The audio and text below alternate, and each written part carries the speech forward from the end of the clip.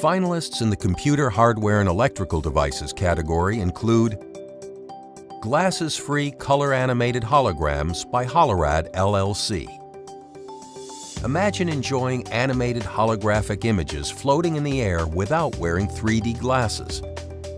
Holorad LLC, a privately held company in Salt Lake City, has found a way to create compelling and memorable 3D experiences for dynamic display in advertising, entertainment venues, and consumer products. This patented technology projects real 3D color images into the air using existing media assets and workflows and eliminates the need for viewers to wear 3D glasses and stand in one spot to enjoy the imagery. Viewers can look left, right, up and down while the image remains stable and undistorted, with the correct colors from varying distances and viewpoints. Holorad's glasses-free color-animated holograms are being marketed to the hospitality, entertainment, retail, and medical imaging industries. Solid-state vacuum device by InnoSys Inc. In response to increased resolution and accuracy requirements for commercial and military radar applications to push power sources to higher frequencies, InnoSys Inc. has developed the solid-state vacuum device.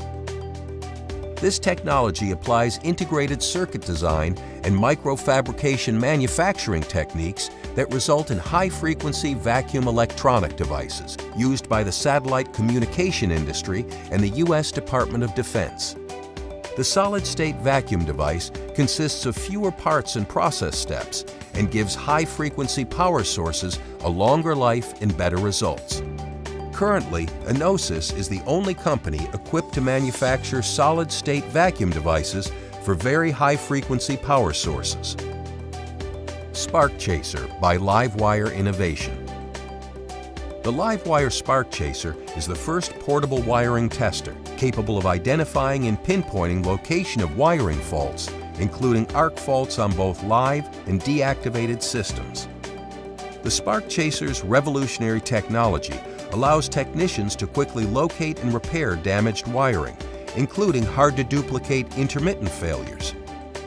Operated via software, the Spark Chaser records the type of fault distance to the fault, and time of occurrence.